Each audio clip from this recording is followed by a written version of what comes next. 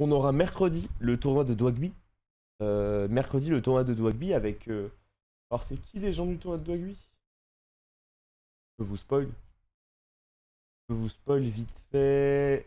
C'est Gotaga, Dwagby, Skyheart, Mikalo, Norman Genius, Jiraya, Xari et moi.